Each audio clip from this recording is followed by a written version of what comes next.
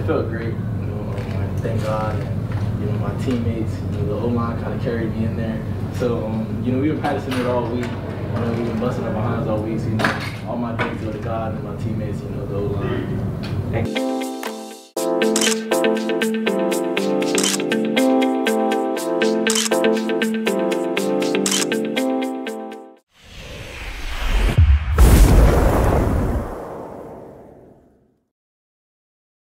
Going.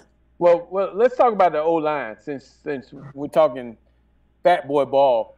Um, that O line. I mean, could you have played on this O line? I don't think so. Man, please. Hey, no, no disrespect to, Z- to, to Carpenter, but he ain't me. Tell, tell me a little bit about what you think of the O line, Zach Zach Carpenter and those guys. He is um he is solid and he's smart. He's not real athletic, but he's a he's got good good technique and he knows how to use it. You know the you know he's not a huge guy because I think he's about three hundred five, but he, he he gets good position and he you know watching him he's smart. He knows what he's doing. Um, the one that surprised me was Rodriguez. The fact that he started the first game because I I, I kind of talked to him a lot because he was playing center and I don't know for whatever reason I thought he was I, I was a little I was sensing that he was um he was a little down last year. So, Yeah. you know, he started following me on Twitter and so I started keeping in touch with him and talking to him and giving him try to give him some tidbits. And I guess he um whatever was wrong with him, he rebounded because he started the first game. Now he told me he'll be back in a week or two.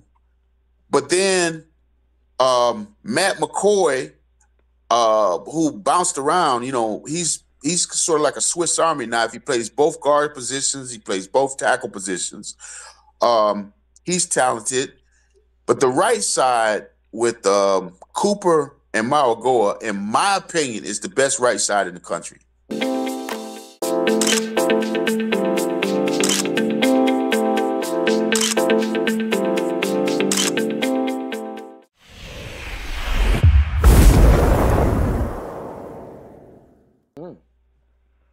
Mean, and Gary, can you tell me why Jalen Rivers didn't play? Did they just because I meant to ask Mario that yesterday? Did they just sit him out? He was, he had some minor injuries coming out of the Florida game, so they decided to sit him out this, this past week. I, Well- I don't know if he'll play against Ball State, but he'll be fine. Yeah, and Markel Bell actually looked pretty good. proud of Markel. You know, I know he had the one holding call, but I mean, we kind of ring around the rosy that one, right? Uh, that's hard to protect, but um, he played really well. I thought he played really well. See it on film. How about Now, mind you, he was playing against FAMU, and that's one step up from playing against Bruce for 40 snaps, but still. Um, but no, um, and they got the one guy, I can't say his name, uh, Uncle Am I saying that? Lola. Okunlola, yeah. He's going to be good. Um, I mean, the the offensive line, the young guy. I mean, in my opinion, Mirabal is probably the best O line country, one of the two or three best in the country. And it's weird when you see him, you can't believe that he's. I mean, you almost think that like, is he what the fifth grade? What's going on?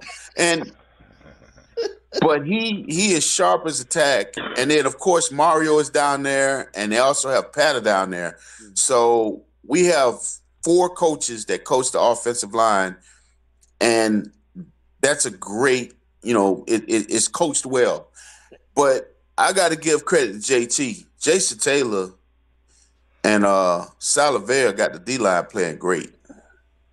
Yeah, we talked about them earlier. The the depth. Um, I mean, they they got what about ten guys that can rotate in there, right? I mean, they they they got about ten. I mean, they got. I some tell you, good- the, the one guy that's really coming on, and it's going to be interesting in the future is Justin Scott. He looked real good. He's looked real good the first couple of weeks. favorite or one of are and what it's meant to you. Uh, talk about your development to this point where you feel you are and what it's meant to you to get out there early. Yeah, um, you know, just having Coach JT, you know, Hall of Famer, uh, one of the main reasons why I chose the program. Um, you know, he just coached me on all the little, the little small things, but also having a lot of vets. You know, Simeon Barrow, you know, transfer from Michigan State, uh, Keen, you know, just having them guys in front of me, uh, just learning, watching the film and seeing what they're doing and just applying it to my game. This is for, e- for either you guys or both of you guys. How much do you think getting this early playing time um, can help you guys, you know, as you continue to develop like throughout the year, going into you know the rest of your career? That is a message to the freshman recruits, the 2025 2026 recruits. That if you a dog, you to get on the field. Come to Miami. Mario has installed the blueprint. And we're to win multiple natties. He got his first sack last week. Um, he was the number one D tackle in the country, and I saw something where they said that he's exceeded their expectations. Mm. And then you got Tyler Baron, who Mhm.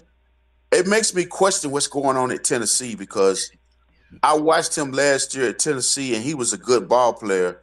It doesn't make sense that he was so anxious to leave to come here because no matter what we paid him, Tennessee could have matched it, and he was That's well. it. They they they have the number one defensive end, I think, in the in, in the draft, in James Pearce, but he played the run and he pass rushed, and I think him coming here, he's gonna put himself in first round consideration.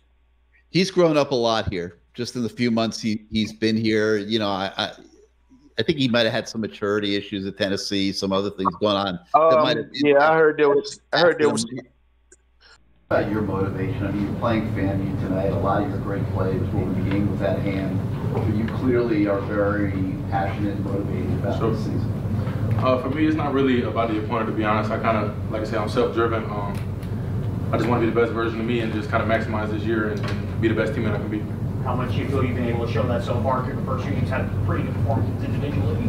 Uh, I feel like I've done it a little bit, but I definitely think there's a lot of room to grow for me um, as a player and as a person, and as a teammate. Uh, to be able to see a lot of the young guys be able to get reps in a live game, how important is that to be able to showcase the depth and be able to get them? For sure. Uh, I mean, it's, it's really imperative uh, when you get those young guys out there. I think the biggest thing is just giving them the confidence just to believe in themselves uh, so that later in the season when we do need them, that they'll be, able- be able to have a bigger impact. Show that leadership, TB. Damn. Tyler, how, just how business-like is this group? I mean, it just, Sure. it, it just seems, again, from practices, the league, guys talk to us during the week, and the guys, For sure. first two games. No, no pun intended. I think it starts at the head of the snake. I think Coach Chris Ball does a great job just getting us ready each and every day. I mean, he's been preaching us the, um, the same message all year, so we just kind of follow his lead and just keep the mindset that he possesses. Mario called you, uh, let's say you're built like an avatar, um, which is He's built like an avatar, and he's built like an avatar, and he's built like an avatar, and he's built like an avatar, and he's just explosive and just um, one of the most natural feels for the game of anyone I've seen. He understands leverage angles. He's really smart. He's locked in. He's in tune with what's going on. He's always trying to figure out how to get better. He works hard. He's tough. Um, he checks all the boxes, and now. Um, and now he's full throttle, and I think he's showing everybody what what he's about. And like I said, another hungry driven dude. We've been blessed with some really good players that have come to our program, and it's our job to push them and help get them better. Mario, what do you? I think that's a compliment. I'm not sure. Yeah, I was gonna, yeah, they're big and fast. Uh, so just, I mean, how have you improved your your abilities and your your, your you know body, So. your shape? I, I, No, I get what you're saying. Uh, for me, I, I mean, it's just been a thing, kind of taking it day in and day out, just trying to take every opportunity, you know, not waste any time. I mean, uh, I'm a little bit older, so I'm just trying to just fine tune the little things that I can and just improve on the little things that Coach Taylor may tell me, Coach Chris Ball may tell me, Coach uh, G. So just taking all the everything they say and just putting it to work. how much have you learned from Jason Taylor since you got team member? I mean, it's been it's been I, I couldn't put words to it. I'm just basically trying to follow his lead, kind of ask him how he would play situations, and just just keep taking the knowledge. And there's been some pretty good D-line here in the last 20 years, 27 of them had three sacks in the line, they came to eight tonight in that span. I know it's about the team, and about the win, just how neat is that, that you get to have your game? I mean, uh, for me, it was my first three-set game in college, so I mean, it's a big night for me. I'm happy, but I'm really ready to move on and just get uh, ready for our game next week. Anything else for Tyler?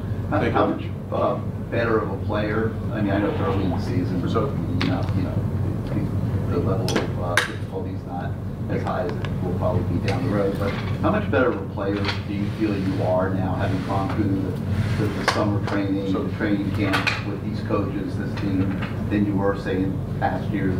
Uh, I mean, I, I think I've definitely grown a lot as a player, but I think just as a person, I think I've taken a step more maturity, um, my intentions with everything. So the player, but I think just as a person, I think I've taken a step more maturity, um, my intentions with everything. So I think it's just kind of kind of been more of an intellectual thing, just kind of growing and trying to keep taking steps. I heard there was some attitude issues, but Yeah. I'm gonna say this: guys come here, and I just, I was just sitting at the table. I was sitting at the table with Roland, and we was eating, and I was just taking in. You could just, t- everybody was happy. Mm, so, Culture. yeah, I mean, you know, you hear that from coaches all the time, but, but then let's just be honest. You left Knoxville, Tennessee, to come live in South Florida. I mean, and be part of this. I mean, how much, how much, how much recruitment did Mario gonna give you some money to move to Miami? A lot.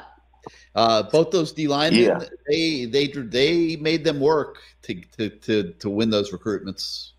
Tyler Baron and Simeon Barrow. Yeah. Well, actually, Missouri tried to steal Barrow. Correct. Yep. Hey, Simeon, how are you? How you doing, big? Good, good. Uh, I know you mentioned at media day that uh, one of the things that was new to you about playing in Miami was playing in the heat. You know, you played a 3:30 game in Gainesville. Now you played down here. Uh, just how's that been going? I'm used to it now, baby. I, look, I know I look like a different color than last time y'all see me, but I'm used to now, man. After he was already here. Yeah. And then he came to his senses. Yeah. So I, I wanted to ask you. You're talking about kind of the vibe and how everyone seems happy. Obviously, Obviously, you won national championships. LT won national championships too. Is it comparable to, to when you guys were, were playing? I know it's completely different areas, but can you pick up some things? It's similar, but it's different because let's just keep it 100. We were some savages. I mean, and you know, yesterday I was at Mario's office, and I was I was talking about something. Oh, I was talking about Amsterdam. I was like, "Hey, I can still got the pictures." He's like, "Shh," because he had some parents in there, and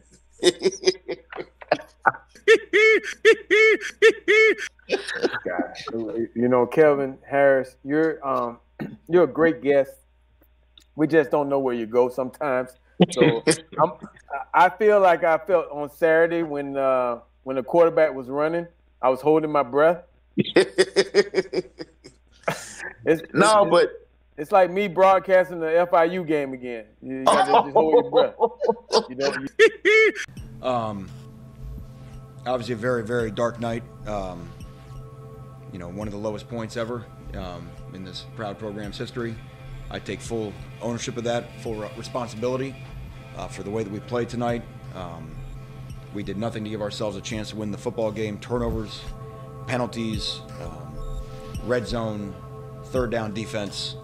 Um, the things that good football teams do, uh, we could not do there was a, you know, we, we, had, we had challenged our guys all week, um, you know, to, you know, we, we had talked about how we had played off of a bye before. We had talked about how we had played in the Central Michigan game.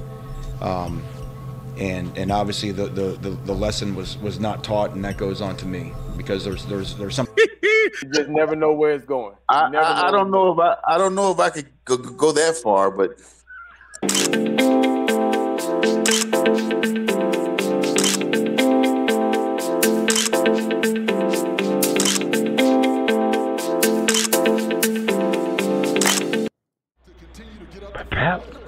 you a stripper. Ah, look at that. Ah, Pap, you a stripper. Ah, look at that. Ah.